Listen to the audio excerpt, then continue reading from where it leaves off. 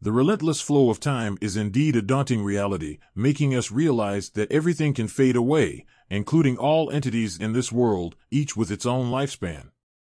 Even the Earth, where you and I reside, has an estimated lifespan of about 7.79 billion years, according to scientists. Some animal species boast lifespans of thousands of years, such as certain types of coral. Now, if we consider all the limits we've discussed alongside the human lifespan, how do they stack up against a human lifetime? Many studies indicate that the limit of human lifespan is around 125 years, a notion reinforced by the field of biomedical gerontology or the so-called Hayflick's limit. Why does the human body seem to reach a limit of 125 years, and what is Hayflick's true limit? Let's delve into these questions in today's video.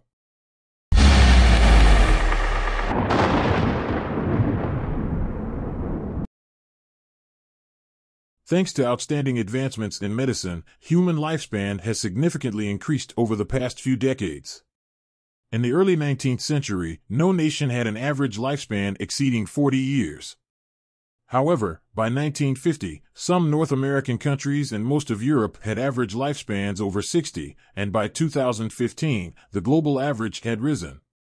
Canada and many countries in Central and Northern Europe even reached average lifespans above 80. Nevertheless, the average lifespan does not reflect the limit of human age, as there are individuals living longer than the mentioned average. However, as we discussed earlier, the proposed lifespan limit is 125 years. Has anyone reached this number? According to record books, the confirmed longest lived person in the world was a French woman, Madame Jeanne Calment, who lived to be 122 years and 164 days old. She lived through a total of 17 French presidencies while remaining sharp and insightful. However, there are doubts about the accuracy of this information. Some research and evidence suggest that this could be an elaborate deception by Jeanne Calment and her daughter. Russian mathematician Nikolai Zak remains unconvinced by Madame Jeanne Calment's long life story shared with the media, stating, I always doubt the true age of Madame Jeanne. Her central nervous system differed from others of her age, and geriatric Dr. Valery Novoselov raised inconsistencies regarding identification details and images from the 1930s. Researchers collaborated to analyze the history and evidence of Madame Jeanne Calment. Their conclusion is that there's a possibility her daughter, Yvonne, impersonated her to avoid inheritance taxes.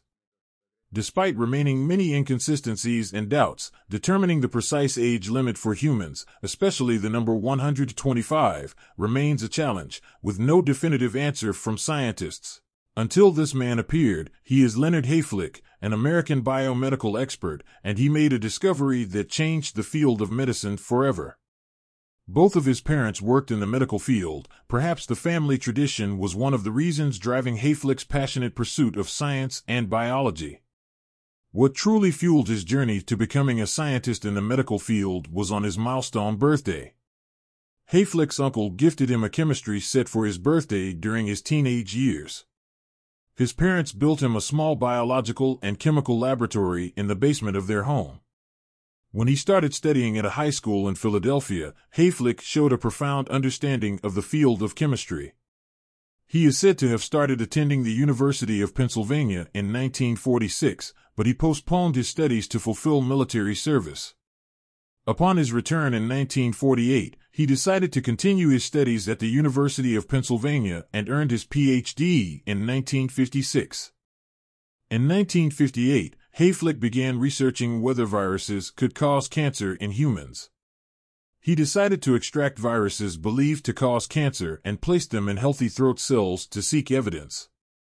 To ensure the research was unbiased, Hayflick needed to use many samples, meaning more cells. During the cell culture process, he noticed something unusual. A group of older cells stopped dividing, and he couldn't understand why that was happening. As a result, he discovered that cells would cease dividing after approximately 50 population doublings, a groundbreaking revelation as, previously, all our cells were believed to continuously divide. However, with this experiment, Hayflick found that after each division, the telomeres found at the end of chromosomes would progressively shorten, and after reaching a critical point, the cells would stop dividing. Initially, he dismissed his findings as an anomaly due to contamination or technical error. However, he later observed that other cell culture environments also exhibited similar characteristics. Hayflick stopped studying cancer cells and shifted his focus to the field now known as gerontology, studying the aging process. Over the next two years, he discovered that cellular aging is related to the age of the human body. This is why we live approximately 125 years. His paper, published in 1961, titled The Serial Cultivation of Human Diploid Cell Strains, reported his study where he examined cells collected from various parts of the body, comparing cells from adults and fetal tissue. The results showed that cells would divide about 40 to a maximum of 60 times before stopping, and once they stop, they undergo senescence and die. A similar process applies to humans as they age. This is the cause of natural death, cellular senescence, and, consequently, over time, our bodies undergo senescence, leading to death. This theory is detailed in Hayflick's paper, where he mentions that the length of telomeres presented in different cells may take varying amounts of time to shorten to the point of cell division cessation. Some cells only divide 40 times before stopping due to telomere length. This also demonstrates that each DNA will have unique characteristics. That's why some elderly people age faster than others, all due to genetics. When comparing the correlation with a person's lifespan as cells divide up to the 60th time, it would correspond to the age of 125. Therefore, if their genes contain longer telomeres, they theoretically have a longer lifespan. Because our bodies are composed of cells, this explains why death due to old age is a natural occurrence. Additionally, the paper shows that after each doubling, cells become more fragile and delicate. This implies that after each cell division, our bodies become weaker and immune systems also decline. Today, with medical advancements, human life expectancy continues to increase.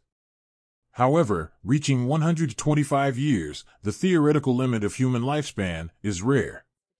Living longer is not as important as what we have accomplished and the impact we have left on this planet.